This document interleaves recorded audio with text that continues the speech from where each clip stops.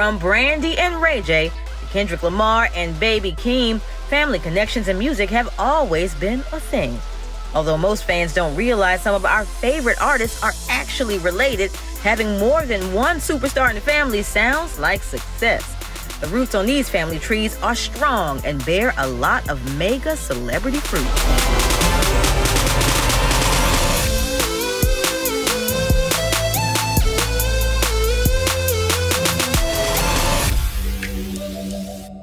Singer songwriter Jhené Aiko's career began by providing backup vocals for B2K and occasionally cameoing in their music videos in the early 2000s.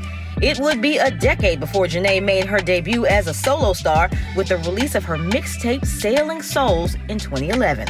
A couple years later, she guested on Big Sean's top 40 charting single, Beware, alongside Lil Wayne.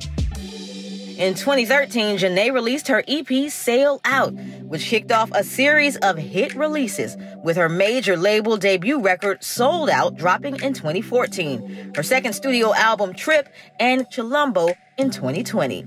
With six Grammy nominations overall, three of which were for Chilombo alone, Jhené's star is definitely on the rise.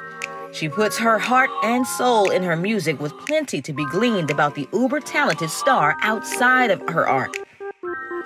As a result, she incorporated crystal sound bowls and positive lyrical intentions into her music, like the song Chilombo, because of her research and understanding of their healing capabilities, while establishing this as her signature sound.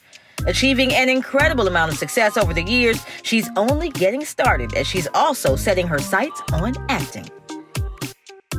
Most don't know that the Stay Ready hitmaker's older sister, Mila J, is also a musician who has worked with several artists and producers, including Ty Dolla Sign, Timbaland, Tank, and Eric Bellinger. Although Jhené and Mila have never intentionally hid the fact that they are siblings, the sisters only recently worked on an official song together. Mila was featured on Jhené's third studio album, Chilombo, for the song On the Way, quickly becoming a fan favorite, amassing millions of views on YouTube and counting. Mila J has been in the music game since 1991, when she starred as a dancer in the video for Prince's Diamonds and Pearls. Since then, she has released a slew of projects as an independent artist. Musical roots run deep with these sisters, in addition to the love and support they share from one another as they continue to rise in the music industry.